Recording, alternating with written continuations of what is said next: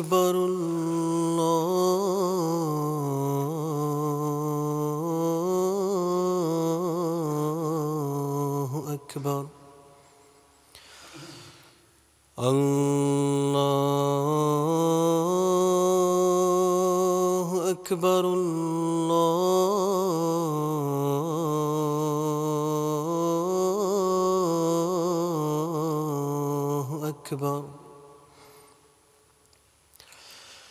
أشهد أن لا إله إلا الله. أشهد أن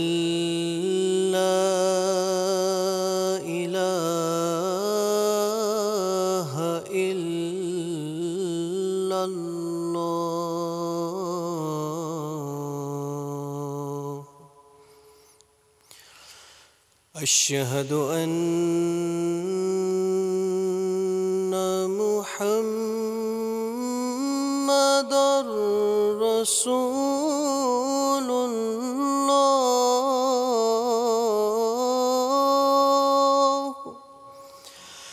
أشهد أن محمدا رسول الله.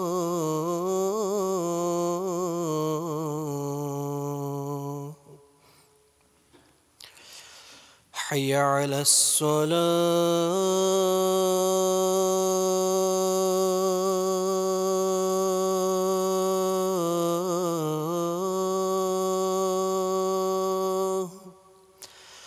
حي على الصلاة.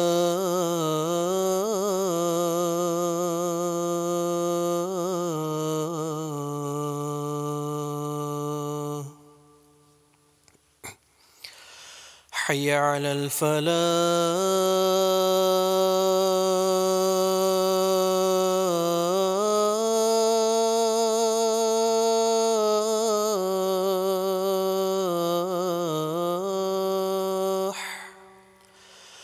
حي على الفلاح.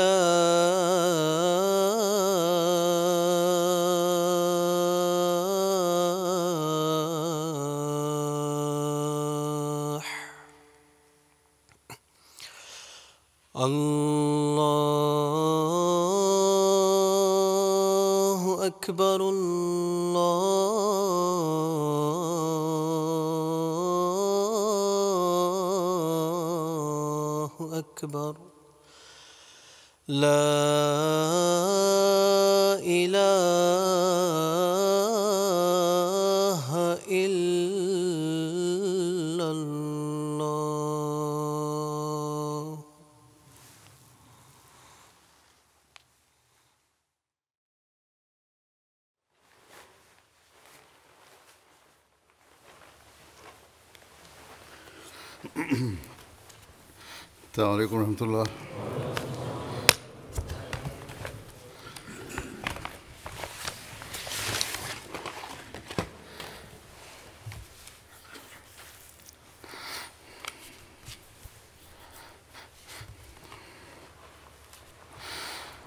أشهد أن لا إله إلا الله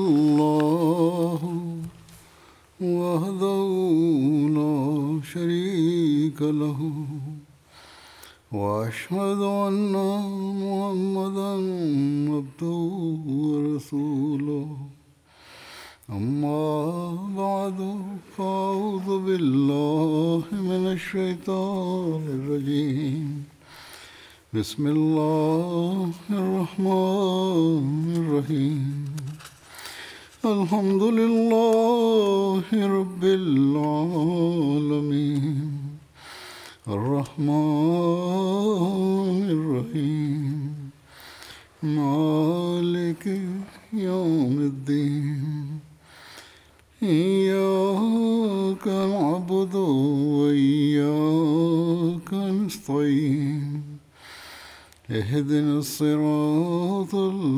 المستقيم صراط الذين أنعمت عليهم، غير المغضوب عليهم ولا الضالين.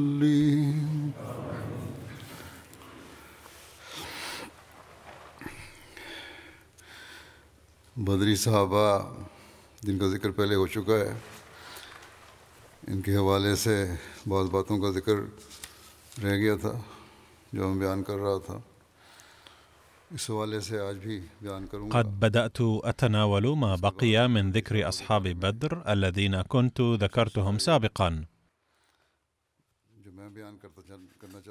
واليوم أيضا سأتناول الموضوع نفسه.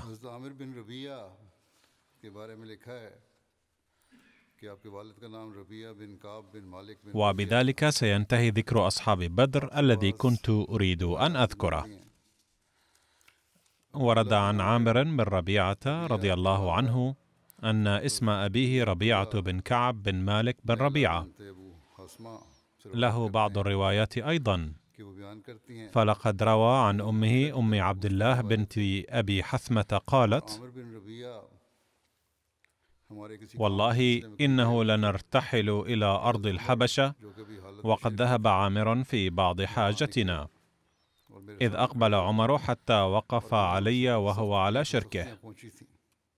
قالت وكنا نلقى منه البلاء أذى لنا وشرا علينا. فقالت فقال عمر إنه لانطلاق يا أم عبد الله. قالت قلت نعم. والله لنخرجن في أرض الله. آذيتمونا وقهرتمونا حتى يجعل الله لنا مخرجا. قالت فقال عمر صحبكم الله. ورأيت له رقة لم أكن أراها. ثم انصرف وقد أحزنه فيما أرى خروجنا. قالت فجاء عامر من حاجتنا تلك فقلت له يا أبا عبد الله لو رأيت عمر انفا ورقته وحزنه علينا قال أطمعت في إسلامه؟ قالت قلت نعم. قال لا يسلم الذي رأيت حتى يسلم حمار الخطاب. أي لا يمكن أن يسلم عمر. قالت ياسا لما كان يرى من غلظته وقسوته عن الإسلام. فضائل الصحابة للإمام أحمد بن حنبل والسيرة النبوية لابن هشام.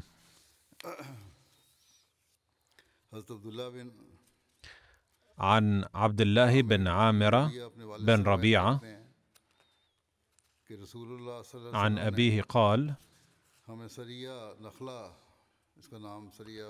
بعثنا رسول الله صلى الله عليه وسلم في سرية نخلة وهي تسمى سرية عبد الله بن جحش أيضا.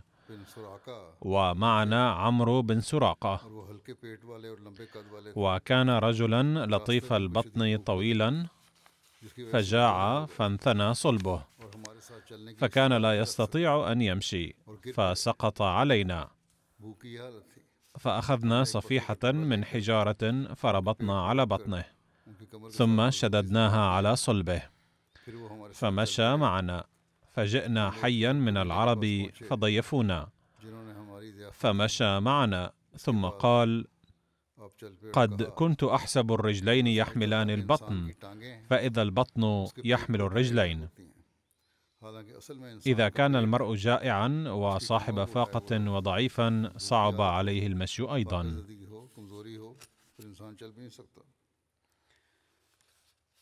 عن أبي أمامة حدث أن سهلا وعامر بن ربيعة قال لهما رسول الله صلى الله عليه وسلم. أخرج يا سهل بن حنيف ويا عامر بن ربيعة حتى تكونوا لنا عينا. شارك عامر بن ربيعة في غزوة ذات السلاسل فأصيب ذراعه من سهم. عبد الله بن عامر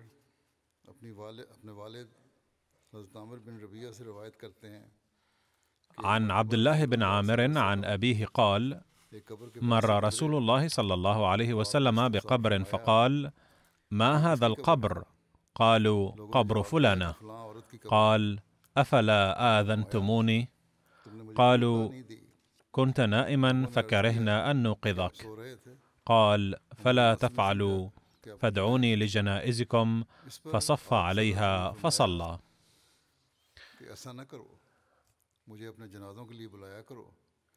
عن عبد الله بن عامر عن أبيه رضي الله عنه قال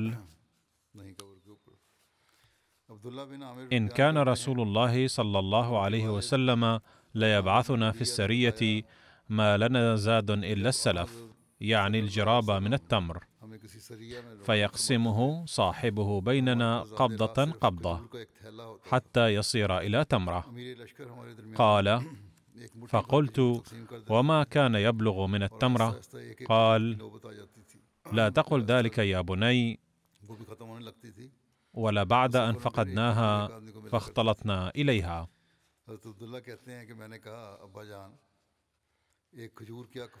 اسأل صاحب الفاقة أهمية تمرة واحدة.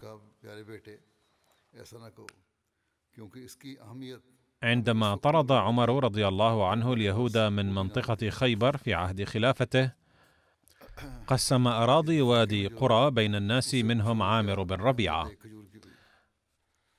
وادي قرى اسم واد بين تيماء وخيبر على الطريق بين الشام والمدينة المنورة تكثر فيه القرى.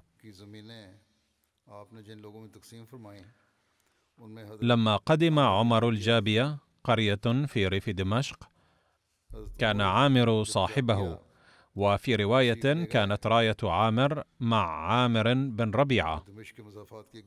ثم حين خرج عثمان رضي الله عنه للحج استخلف عامرا على المدينة أي جعله الأمير المحلي.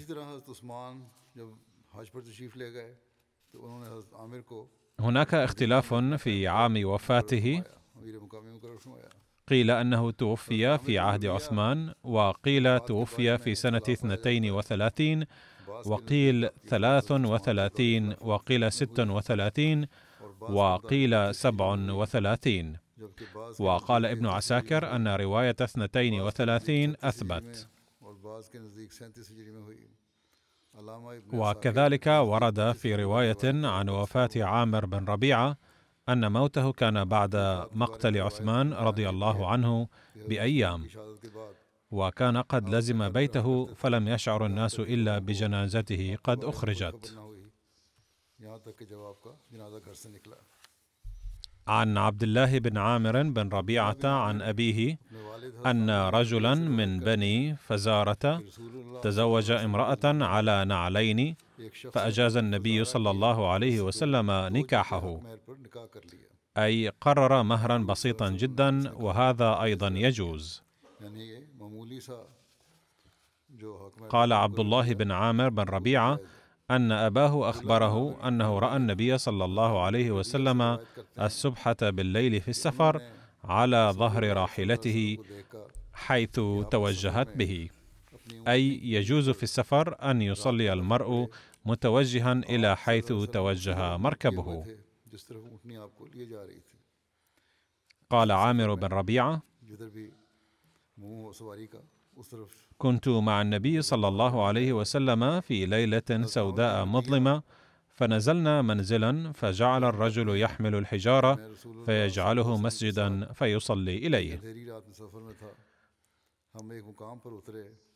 فلما أصبحنا إذا نحن على غير القبلة فقلنا يا رسول الله صلينا ليلتنا هذه لغير القبلة. فأنزل الله عز وجل ولله المشرق والمغرب فأينما تولوا فثم وجه الله أي لا حرج إذا حدث ذلك بالخطأ وسوء الفهم ويمكن أن يكون النبي صلى الله عليه وسلم قرأ هذه الآية في هذه المناسبة وليس ضروريا أن يكون قد نزل حينها باختصار هذه رواية من حلية الأولياء. عن عامر بن ربيعة قال قال رسول الله صلى الله عليه وسلم من صلى علي صلاة صلى الله عليه عشرا فأكثروا أو أقلوا.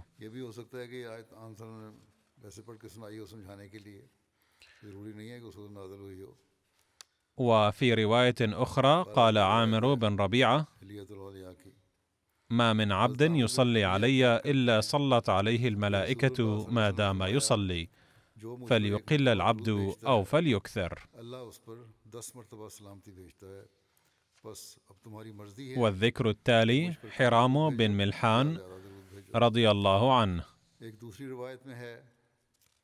ورد عن حرام أنه لم يخلف.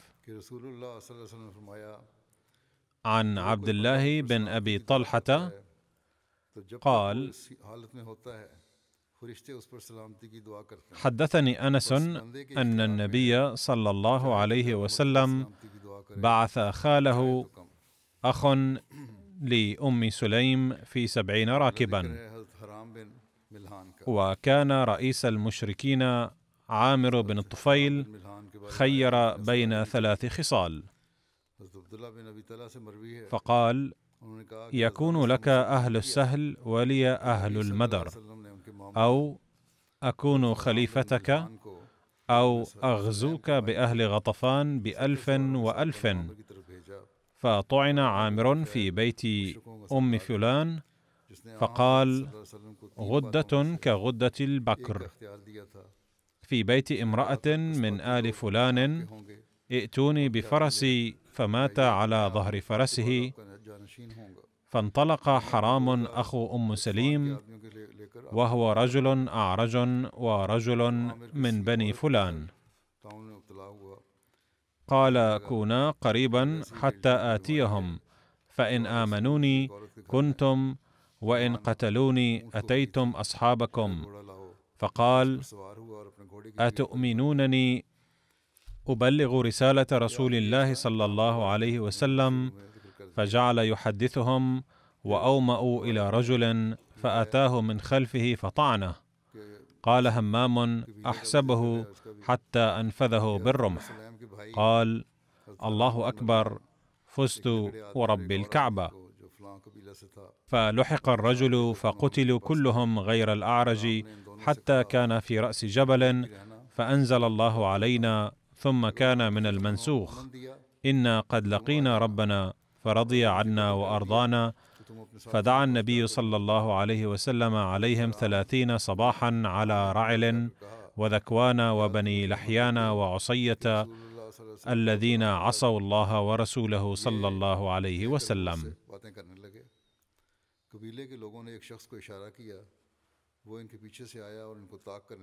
هذا ما ورد في صحيح البخاري وفي رواية أخرى من البخاري ورد أنه طعن بالحربة. وفي رواية النبي صلى الله عليه وسلم دعا عليهم أي ضد قبيلتي رعل وذكوان من بني سليم شهرا في صلاة الغداة. وقال أنس رضي الله عنه أن ذلك بدء القنوت وما كنا نقنت من قبل.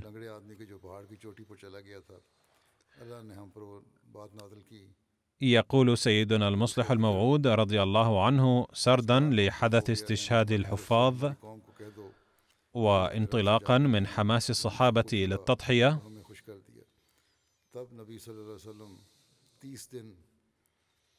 يتبين لنا بقراءة التاريخ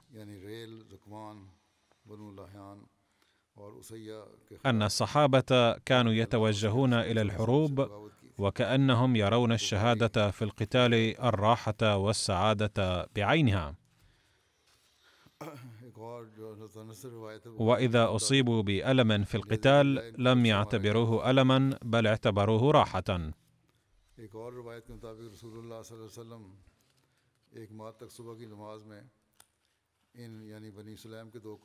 نجد في التاريخ مثل هذه أحداث الصحابة بكثرة التي تفيد أنهم رأوا عين راحتهم أن يقتلوا في سبيل الله. فمثلا أولئك الحفاظ الذين بعثهم النبي صلى الله عليه وسلم إلى قبيلة في وسط العرب لتبليغ الإسلام. كان منهم حرام بن ملحان أيضا الذي ذهب برسالة الإسلام إلى عامر بن طفيل سيد بني عامر. وتخلف عنه بقية أصحابه. فرحب به عامر بن الطفيل وأفراد قبيلته في البداية بالنفاق.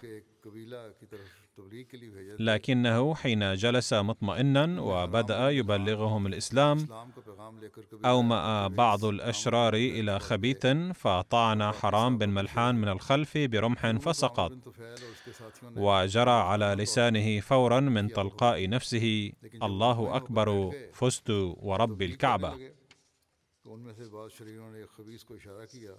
ثم حاصر أولئك الأشرار بقية الصحابة وهاجموهم.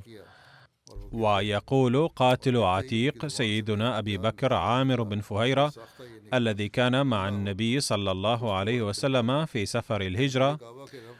وهذا القاتل قد أسلم فيما بعد وهو قد ذكر أن سبب إسلامه حصرا أنه حين قتل عامر بن فهيرة جرى على لسانه تلقائيا فزت والله! فهذه الأحداث تفصح أن الموت كان يجلب للصحابه الفرحة بدلا من الحزن. ثم يقول سيدنا المصلح الموعود إن اشخاصا من النجد جاءوا إلى النبي صلى الله عليه وسلم لكنني أترك هذا وأتناول ما كتبه سيدنا ميرزا بشير أحمد رضي الله عنه عن هذا الحدث وهو مفصل نوعا ما. فقد كتب جاء النبي صلى الله عليه وسلم أبو البراء العامري وهو رئيس بني عامر في وسط العرب قصد الزيارة. فعرض عليه رسول الله صلى الله عليه وسلم الإسلام بلطف ورفق. فسمع الدعوة في الظاهر بشوق ولم يسلم. ثم قال للنبي صلى الله عليه وسلم يا محمد إذا بعثت معي رجالا من أصحابك إلى أهل نجد يدعونهم إلى الإسلام فأرجو أنهم لن يردوا دعوتك. فقال صلى الله عليه وسلم أنا لا أثق بأهل نجد. قال أبو البراء لا تقلق فأنا مجيرهم. فلما كان سيد القوم وكان صاحب نفوذ فقد وثق به النبي صلى الله عليه وسلم إثر طمأنته وبعث معه جماعة من الصحابة إلى نجد. إن هذه الرواية من التاريخ بينما ورد في رواية البخاري أن النبي صلى الله عليه وسلم أتاه رجال من رعل وذكوان من بني سليم وغيرهما من القبائل فزعموا أنهم قد أسلموا واستمدوه على قومهم المعارضين للإسلام ولم يذكروا أي نوع من المدد يريدون أي يريدون كتيبة للدفاع أو من ينشرون الدعوة. فأمدهم النبي صلى الله عليه وسلم بهذه الكتيبة. إذا أردنا التوفيق بين هاتين الروايتين فيمكن أن يكون على النحو التالي: بأن يكون أبو البراء العامري زعيم قبيلة بني عامر أيضا قد جاء مع أناس من رعل وذكوان وهو قد بدأ الحديث مع النبي صلى الله عليه وسلم نيابة عنهم. فإن قول النبي صلى الله عليه وسلم إني أخاف عليهم من أهل نجد بحسب ما ورد في التاريخ ورد أبي البراء بأنني مجيرهم فلن يتعرض أصحابك لأي أذى منهم يشير إلى أنه قد رافق أبا البراء أناس من رعل وذكوان وكان النبي قلقا بسببهم والله أعلم.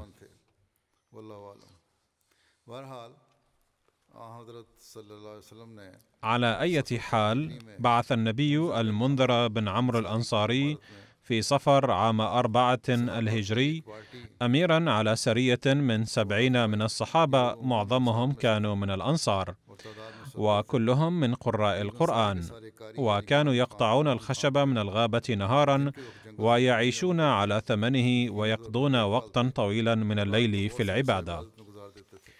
فلما نزلوا بموضع عرف ببئر هناك اشتهر ببئر معونة. توجه حرام بن ملحان وهو خال سيدنا أنس بن مالك برسالة رسول الله صلى الله عليه وسلم إلى عمرو بن الطفيل رئيس قبيلة بني عامر وهو ابن أخي أبي البراء العامري. وبقي الصحابة الآخرون في مكانهم. فلما أتى حرام بن ملحان بصفته مبعوث النبي صلى الله عليه وسلم إلى عامر بن الطفيل وأصحابه رحبوا به في البداية نفاقا. فلما اطمأن وجلس معهم يبلغهم دعوة الإسلام أومأ بعض الأشرار إلى أحدهم فطعن هذا المبعوث البريء في ظهره وقتله. وكان على لسانه وقت استشهاده الله أكبر فزت ورب الكعبة.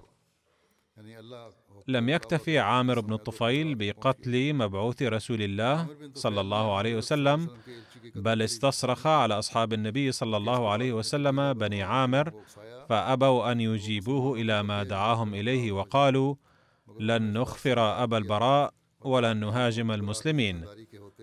فاستصرخ عليهم عمرو قبائل رعلا وذكوان وعصية من سليم. كما ورد في رواية البخاري فأتوا النبي صلى الله عليه وسلم في وفد فأخذوهم معهم ثم هاجموا جماعة المسلمين قليلة العدد الذين لم يكن لهم حول ولا قوة. لما رأى المسلمون هؤلاء الوحوش قادمين إليهم قالوا لهم إنا لا نريد أن نتعرض لكم. وإنما جئنا لإنجاز مهمة لرسول الله صلى الله عليه وسلم وما جئنا للقتال ولكنهم لم يستمعوا لهم وقتلوهم بالسيوف۔ ولم ينجو من هؤلاء الصحابة إلا شخص واحد هو الصحابي كعب بن زيد وكان أعرج فصعد على الجبل. وفي بعض الروايات أن الكفار حملوا عليه وجرحوه وتركوه ظنا منهم أنه قد مات ولكن كان به رمق فنجا.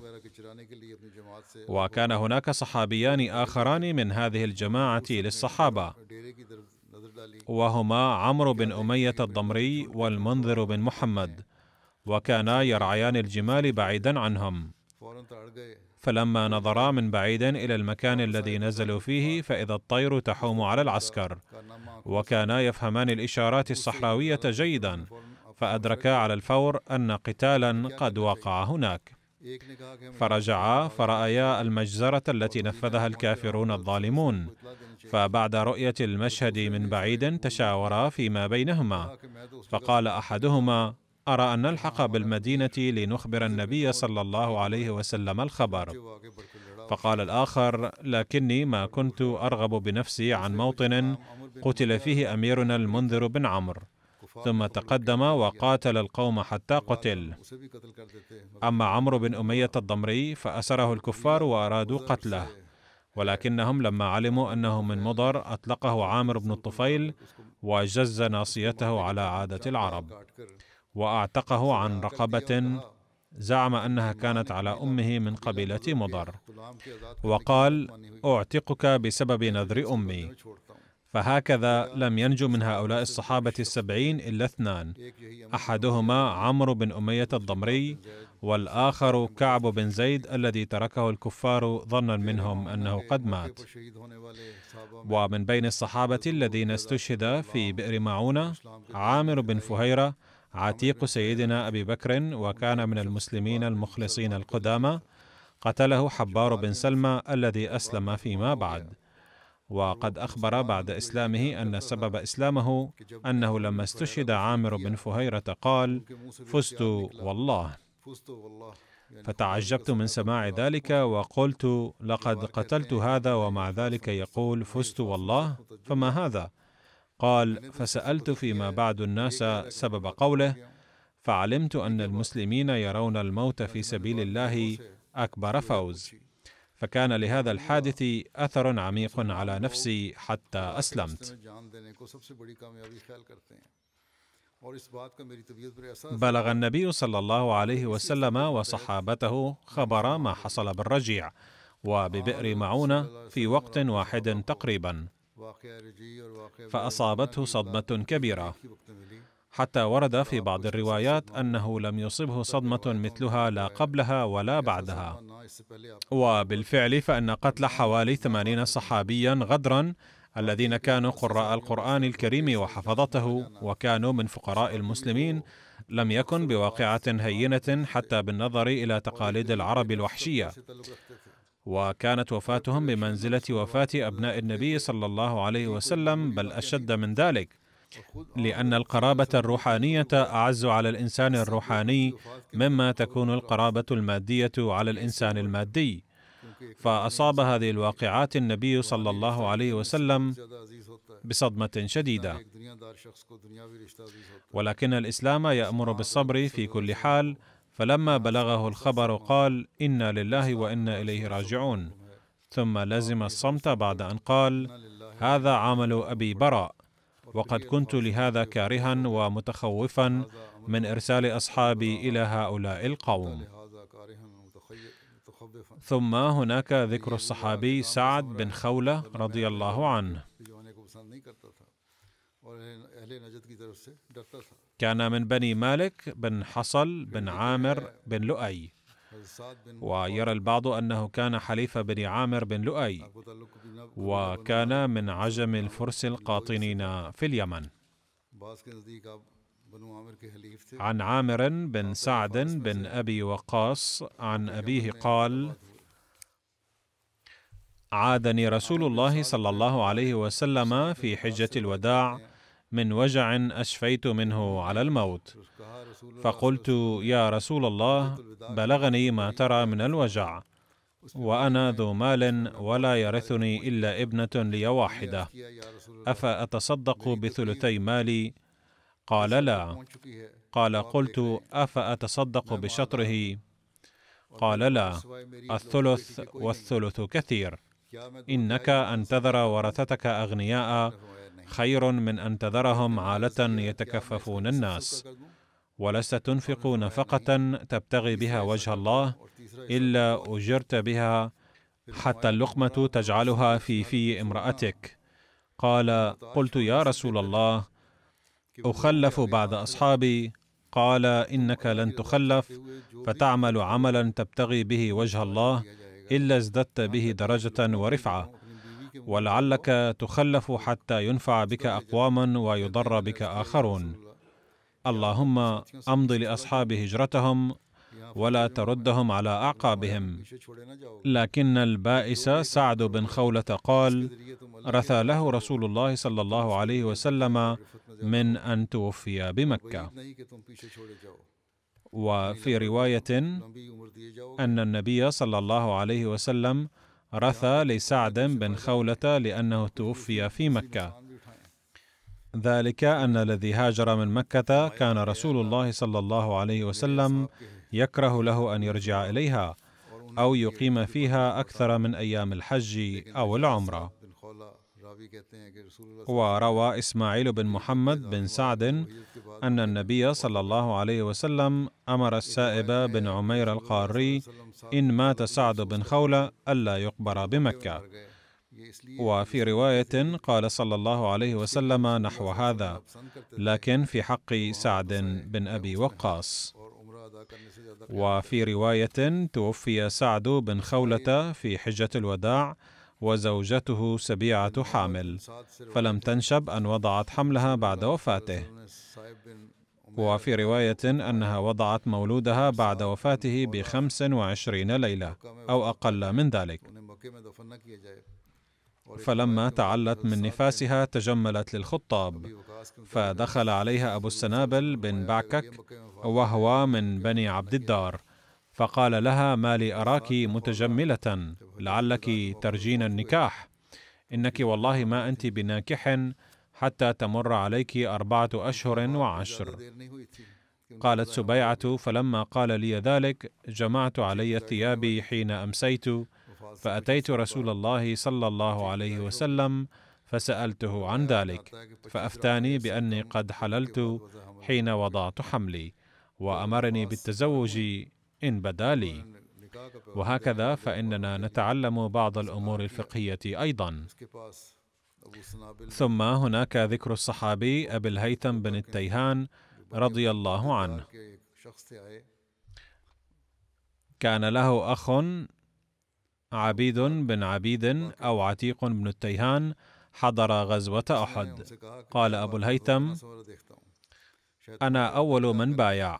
فقلت لرسول الله صلى الله عليه وسلم كيف نبايعك يا رسول الله؟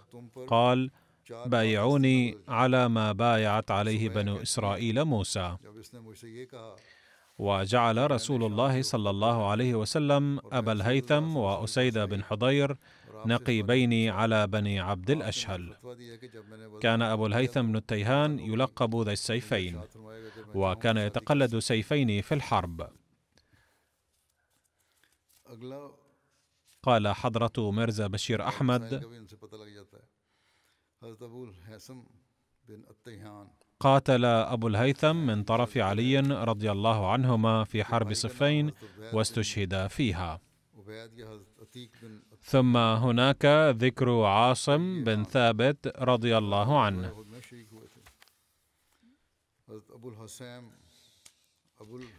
كان اسم أحد أبنائه محمد الذي ولد من بطن هند بن مالك. لقد بين الإمام الرازي في شرح آية عن الذين كانوا قرب النبي صلى الله عليه وسلم في غزوة أحد. وقد ذكر الخليفة الرابع رحمه الله أيضا شارحا الايه نفسها وقال لقد قدم الامام الرازي شهاده قاطعه عن الاربعه عشر شخصا كانوا موجودين حين ذاك مع النبي صلى الله عليه وسلم ولم يتركوه مطلقا وقد ورد في تلك الاسماء من المهاجرين سيدنا أبو بكر وعلي رضي الله عنهما. يقول الشيعة أيضا إن عليا رضي الله عنه كان موجودا. اذا كان من بينهم أبو بكر علي عبد الرحمن بن عوف سعد بن أبي وقاص طلحة بن عبيد الله أبو عبيده بن الجراح والزبير بن العوام رضي الله عنهم من المهاجرين ومن الأنصار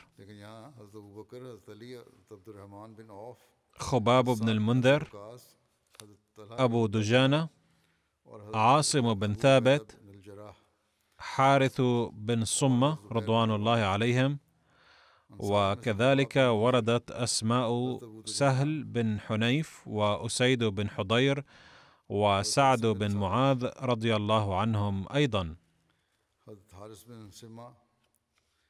وقد ورد أيضا أن الثمانية منهم كانوا قد أقسموا على الموت.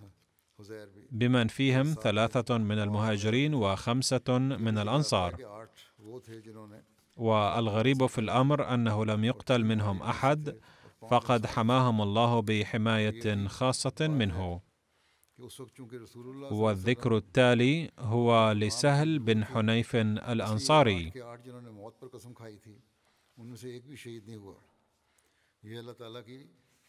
عن ابن عباس أنه كان مع النبي صلى الله عليه وسلم يوم بدر مئة ناضح ونواضح وكان معه فرسان يركب أحدهما المقداد بن الأسود ويتروح الآخر مصعب بن عمير وسهل بن حنيف وكان أصحابه يعتقبون في الطريق النواضح.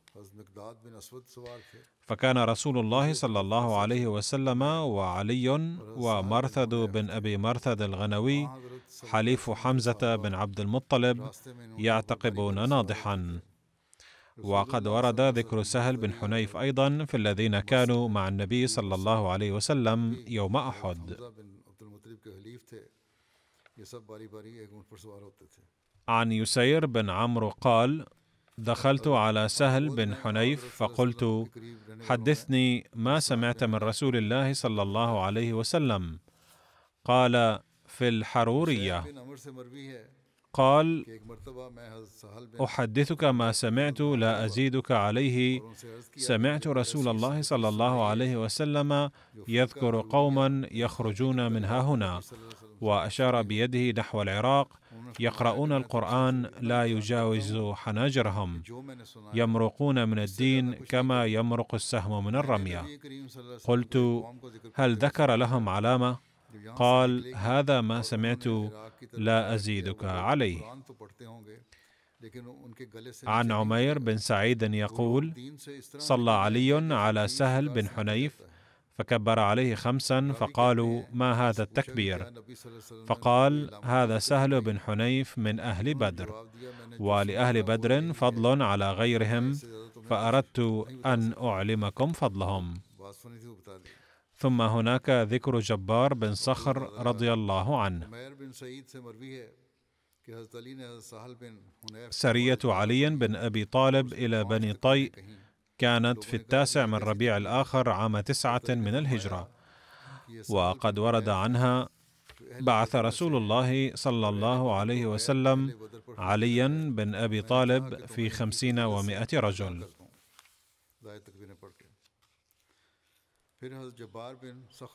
كانت منطقة بني طيء تقع في شمال غرب المدينة. وأعطى النبي عليا رضي الله عنه راية سوداء ولواء أبيض. فشنوا الغارة على محلة آل حاتم مع الفجر فهدموا الفلس. ثم عاد علي إلى المدينة مع أموال كثيرة وأسرى من بني طيء. كان اللواء في هذه السرية مع جبار بن صخر رضي الله عنه. في هذه السرية استشار علي رضي الله عنه أصحابه. قال جبار بن صخر رأيي أن ننطلق على متون الخيل ليلتنا حتى نصبح القوم وهم غارون فنغير عليهم. قال علي هذا الرأي. عن جابر بن عبد الله قال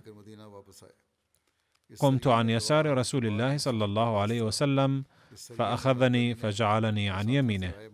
وجاء جابر بن صخر فدفعنا حتى جعلنا خلفه.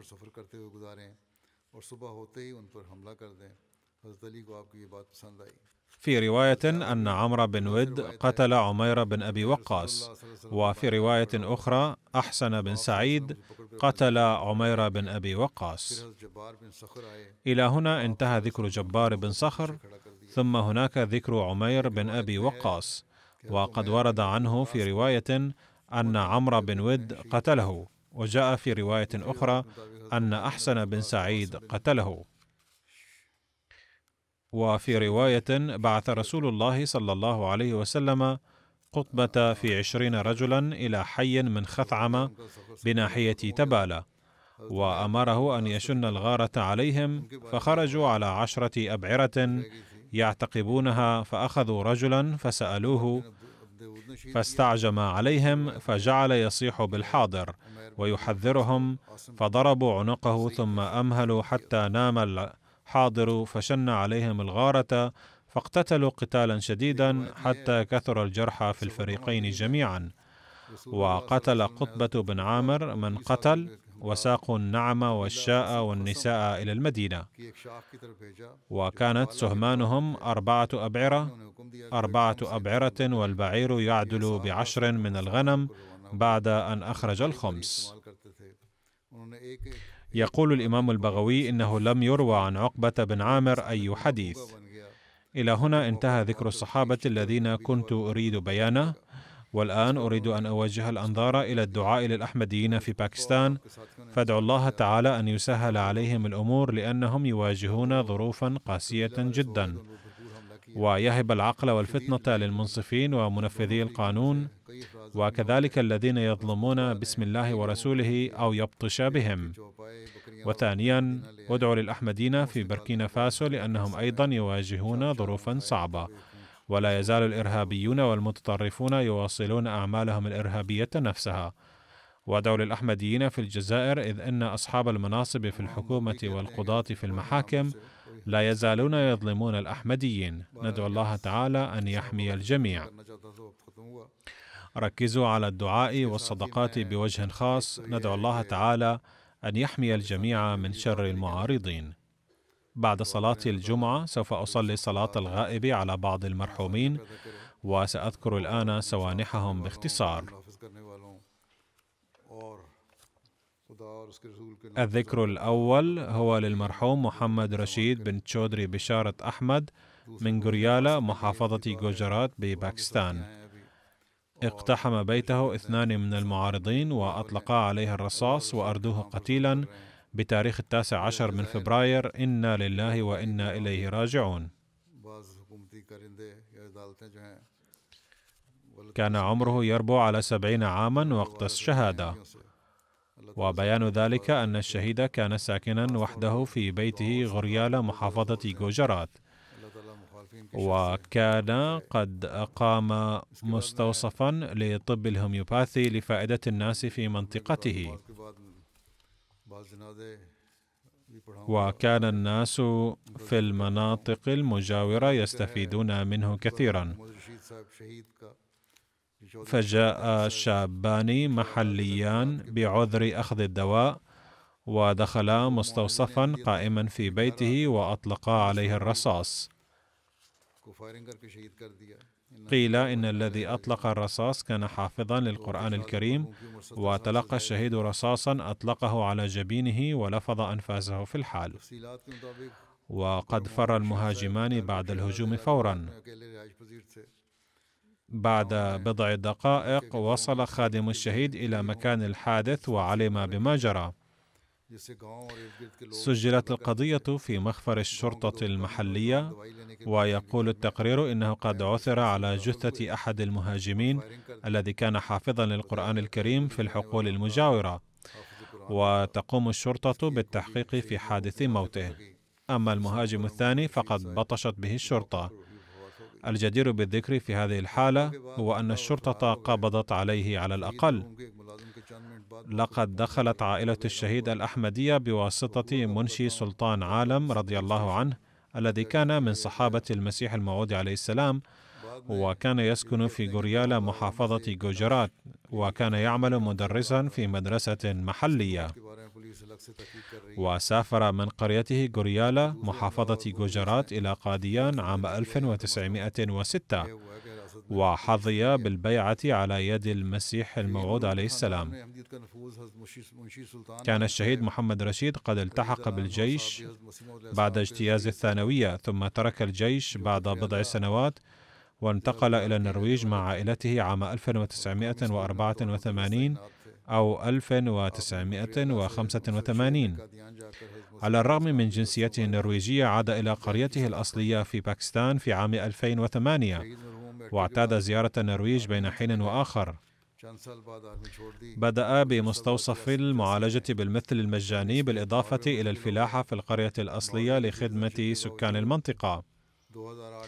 واستمرت هذه السلسلة حتى آخر حياته. كان الشهيد الراحل بحمد الله منضما إلى نظام الوصية كان يخدم وقت الاستشهاد بوصفه سكرتيرا للإصلاح والإرشاد في منطقة غوتريالا كان ودودا ومحبا للغاية وكان على علاقة المحبة والصداقة مع الجميع كانت روح الخدمة بارزة فيه وكان يقدم الدعم المادي والمعنوي للمحتاجين بغض النظر عن انتمائهم الديني كان يحب الخلافة حبا جما ضيافة الضيوف كانت سمته البارزة وبالتالي كان في المقدمة دائما لخدمة الضيوف من المركز على وجه الخصوص.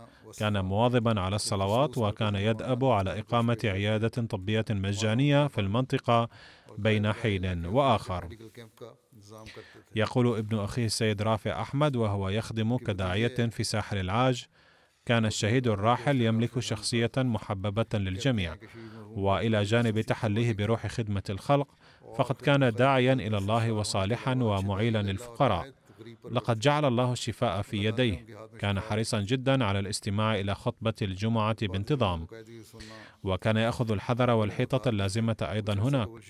منذ فترة رأت زوجة الشهيد الراحل السيدة بروين أختر في النرويج أن الشهيد الراحل قد تعرض للاعتداء وحاول أحدهم قتله. لذلك فقد طلبت منه آنذاك توخي الحذر. لقد ترك الشهيد خلفه زوجته السيدة بروين أختر التي تعيش حاليا في النرويج وابنين وخمس بنات. إحدى بناته تعيش في باكستان أما بقية الأولاد فيعيشون في دول مختلفة. كتب السيد شاهد محمود كالون رئيس المبلغين في النرويج كان المرحوم شخصا متواضعا وبسيطا جدا. ظل يخدم الناس بالعلاج بالمثل في النرويج. ثم بعد التقاعد عاش في قريته في باكستان لحوالي 12 أو 13 عاما حيث كان يخدم الناس. وخلال هذه الفترة اعتاد زيارة النرويج أيضا بين حين وآخر. لقد جعل الله الشفاء في يده وكان دائما على استعداد لمساعدة المرضى لدرجة كان يقوم بالزيارات المنزلية أيضا لإعطاء الدواء. كانت زوجته من أقاربه إلا أنها لم تكن قد بايعت سابقا لكنها لم تعارضه قط بل زوجت جميع أولادها في بيوت الأحمديين. فلما زار الشهيد النرويج المرة الأخيرة في أكتوبر تشرين الأول 2018 أقنع زوجته بالمبايعة وكان يقول بأنني أتيت لهذا الغرض حتى تبايع زوجتي. وقال لها بأنه يواجه معارضة شديدة في باكستان ويتلقى تهديدات أيضا. ولكن الفقر هناك شديد بحيث لا يستطيع الناس شراء الأدوية. أما بوجود هناك فيتيسر لهؤلاء الفقراء علاج مجاني وتتم مساعدتهم. ولا أخاف من الموت لأنه سيأتي حتما يوما ما. لا يزال الأحمديون يقومون بمواصلة خدمة البشرية. وهم يفعلون ذلك بلا أي خوف. غفر الله للشهيد محمد رشيد ورحمه وألهم أهله الصبر والسلوان. الذكر التالي هو لمرحومين اثنين وهما السيدة أماني مجلاوي والعزيز صلاح عبد المعين قطيش من اسكندرون تركيا. كتب السيد صادق رئيس الجماعة هناك لقد توفي اثنان من الأحمديين أيضا في هزتين حدثتا في تركيا في 6 فبراير شباط 2023 أحدهما أم والآخر ابنها. إنا لله وإنا إليه راجعون. أما بقية الأحمديين فقد بقوا محفوظين من دمار الزلزال بشكل عام بفضل الله تعالى. اللهم إلا بعض الإصابات الخفيفة التي تعرض لها البعض. أما المتوفيان فأحدهما السيدة اماني مجلاوي وهي أم أحمدية سورية من جماعتنا في مدينة اسكندرون. كانت زوجة السيد عبد المعين قطيش وكنة السيد صلاح قطيش أبو خالد رئيس الجماعة في اسكندرون. لقد بايعت السيدة أماني مع زوجها قبل شهرين. يقول حموها السيد صلاح قطيش أنه سألها قبل وفاتها بيوم فحسب ما إذا كانت قد أخبرت أهلها عن بيعتها فردت نعم أطلعت والدي على أنني أصبحت أحمدية. يقول السيد صلاح كانت أماني مسرورة على أن والديها لم يبديا ردة فعل شديدة على قبولها الأحمدية ولم يعارضاها لقد توفي معها ابنها العزيز صلاح الدين البالغ من العمر ثلاث سنوات. إنا لله وإنا إليه راجعون. وكان الاثنان قد وقعا تحت الأنقاض ولم يتم إخراجهما إلا بعد يومين وعند ذلك كانا قد توفيا. لقد تركت السيدة أماني خلفها زوجها السيد عبد المعين قطيش وبنتا عبيرة البالغة من العمر ست سنوات. يقول السيد شمس الدين المليباري الداعية الأحمدي في الكبابير لقد هاجرت عائلة السيدة أماني وزوجها عبد المعين قطيش من سوريا ووصلت إلى تركيا. كانت السيدة أماني مخلصة وخدومة وامرأة قانعة. ولما أخبرت عن أهمية البيعة لم تتأخر من اتخاذ خطوة البيعة بل كانت تطمئن زوجها وإخوتها أيضا تجاه هذا الأمر. يقول السيد شمس تقول زوجتي أنها لاحظت بشكل ملموس أن المرحومة اعتادت أن تحافظ على لم شمل أهل زوجها وتعاملهم جميعا بحب وحنان كبيرين. كانت مسرورة جدا يوم بيعتها وودعتنا بمشاعر الإخلاص الكبير. غفر الله لها ورحمها. والشخصية الثالثة التي أصلي عليها صلاة الغائب هي داعية الجماعة السيد مقصود أحمد منيب الذي توفي في 15 فبراير شباط الجاري عن عمر يناهز 53 عاما إثر صدمة قلبية. إنا لله وإنا إليه راجعون. كان منضما إلى نظام الوصية بفضل الله تعالى. لقد قبل الأحمدية والده السيد شودري جان محمد في عام 1974 لقد تخرج المرحوم من الجامعة الأحمدية بربوة عام 1991 بعد أن أحرز شهادة المبشر ثم خدم الجماعة في مدن باكستان المختلفة بإشراف نظارة الإصلاح والإرشاد المركزية. وفق للخدمة في كينيا شرق إفريقيا من عام 1998 إلى 2006 ثم رجع إلى باكستان وكان يخدم الجماعة حاليا كرئيس المبشرين في محافظة كويتا. لقد ترك خلفه إضافة إلى زوجته ابنا وبنتين. لقد كتب عنه ناظر الإصلاح والإرشاد أيضا أنه كان مخلصا وكان داعية يعمل بأمانة واجتهاد كبيرين. يقول السيد عبد الوكيل داعية الجماعة في كويتا كان المرحوم يكن للواقفين احتراما كبيرا وكان يسألني دوما ما لا يعرفه دون أي تردد مع كوني أصغر منه كثيرا في العمر. لقد قضى الفقيد بعض الوقت في كينيا ولذلك لم تكن تخلو أحاديثه من ذكر كينيا. وكان يبدو أن قلبه قد شغف حبا بكينيا وشعبها. كان يقول في كثير من الأحيان إن شعب كينيا متقدمون في الإخلاص ومحبون للغاية. كتب قائد المجلس السيد فريد مبارك أن المرحوم كان ذا شخصية ظريفة وطاهرة و فدائية من أجل الدين ومضحية بنفسها من أجل الجماعة ومحبة للخلافة حبا لا حدود له. يقول عندما علمت بتعيين داعية كبير وقديم هنا في كويتا كنت سعيدا جدا لأن الجماعة في كويتا كانت بحاجة إليه. يقول إنه قد أسر قلبي في اللقاء الأول معه ثم لما ألقى خطبته الأولى في مسجد الجماعة في محافظة كويتا أثنى عليه كل من سمعها. كان مضيافا يدعو الجميع إلى بيته ثم كان يخدمه أيما خدمة. كان يظهر من عينيه ما يكنه في قلبه من لوعة من أجل الجماعة. فلما كان يخطب بيننا كان يلقي كلماته بحماس ونشاط عجيب يجعل عيون السامعين تذرف دموعا من شدة التاثر بها كان يحضر جميع الاجتماعات والجولات وكان يحاول أن يولد في قلب كل من يلتقي به اهتماما كبيرا بالجماعة. كان يملك خزينة كبيرة من علوم الجماعة أيضا وكان رجلا متواضعا لدرجة لم أرى في حياتي شخصا متواضعا مثله. ثم يقول كان نور عجيب يعلو وجهه أثناء الجمعة الماضية التي توفي في اليوم التالي منها.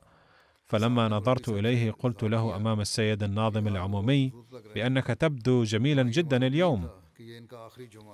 ولم نكن نعرف أنها جمعته الأخيرة لأنه توفي بعدها. غفر له الله تعالى ورحمه ورفع درجاته. سأصلي بإذن الله صلاة الغائب على جميع هؤلاء.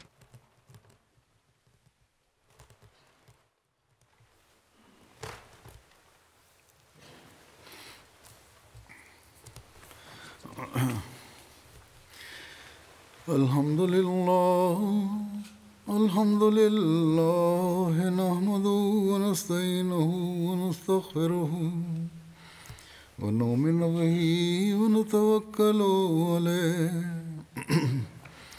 ونعوذ بالله من شرور أنفسنا ومن سيئات أعمالنا. من يهده الله فلا مضل له ومن يضلل فلا هادي له.